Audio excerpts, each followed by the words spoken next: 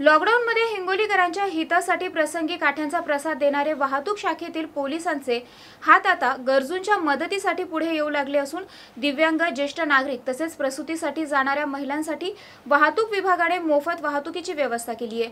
या उपक्रमाचे उद्घाटन दोन मे रोजी पोलीस अधीक्षक योगेश कुमार यांच्या हस्ते करण्यात आलं हिंगोलीमध्ये नेहमीच नाविन्यपूर्ण उपक्रमामुळे वाहतूक शाखेचे सहाय्यक पोलीस निरीक्षक ओमकांत चिंचोलकर चर्चेमध्ये असतात. लॉकडाऊनमध्ये शहरामध्ये विनाकारण भटकंती करणाऱ्यांना काठ्यांचा प्रसाद देत दंडही वसूल केलाय. लॉकडाऊनच्या काळामध्ये वाहतूक शाखेच्या माध्यमाने तब्बल सातशे पेक्षा अधिक वाहने जप्त केली आहेत. तर सोळा लाख रुपयांचा दंड देखील वसूल करण्यात आलाय. दरम्यान शहरातील वाहतूक बंद झाल्याने दिव्यांग व्यक्ती ज्येष्ठ नागरिक आणि गरोदर महिलेस रुग्णालयात जाण्यासाठी गैरसोय होऊ नये याकरिता वाहतूक शाखेने त्यांची मोफत वाहतूक व्यवस्था सुरू केली आहे. त्यासाठी शहरामध्ये चार ऑटोद्वारे ही वाहतूक केली जाणार आहे. नागरिकांनी पोलिसांना दूरध्वनी केल्यानंतर अवघ्या दहा मिनिटांमध्ये ऑटो त्यांच्या दारात पोहोचणार आहे. या उपक्रमाचे उद्घाटन पोलीस अधीक्षक योगेश कुमार अप्पर पोलीस अधीक्षक यशवंत काळे उप अधीक्षक रामेश्वर वैंजने अश्विनी जगताप सहाय्यक पोलीस निरीक्षक ओमकांत चिंचोलीकर जमादार फुलाजी सावळे आनंद मस्के गजानन सांगळे यांच्यासह अनेकांची उपस्थिती होती. पोलिसांच्या या उपक्रमामुळे अडचणीत सापडलेल्या नागरिकांना वाहतुकीसाठी मदतीचा हात मिळणार आहे. माननीय जिल्हाधिकारी हिंगोली यांच्या आदेशाप्रमाणे सध्या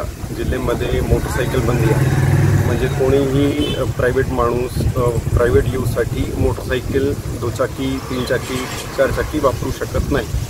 त्याप्रमाणे बरेचसे लोकांना असं निदर्शनामध्ये आलेलं आहे की ज्यांना ओ पी डीमध्ये जायचं आहे हॉस्पिटलला जायचं आहे किंवा कोणी सिनियर सिटीजन आहे ज्यांना तातडीने काय मदत पाहिजे काय सामान पाहिजे तर त्यासाठी त्यांना मोटरसायकलची बरे बंदी असल्यामुळे त्यांना फार फार अडचणी येतात. त्यामुळे हिंगोली ट्रॅफिक पोलीसच्या वतीने आम्ही एक नवीन योजना सुरू केलेली आहे. ज्यांच्यामध्ये कॉन्टॅक्ट नंबर दिलेला आहे की ज्यांना कोणाला काही अडचण आहे सिनियर सिटीजन्स आहे पर्टिक्युलरली कोणी फिजिकली चॅलेंज्ड आहे कोणी आजारी आहे ज्यांना हॉस्पिटलमध्ये मदत पाहिजे आणखी दुसरी मदत पाहिजे तर ते फोन करतील. आमच्या ऑटो यांना पूर्णपणे निशुल्क आम्ही सेवा देणार आहे.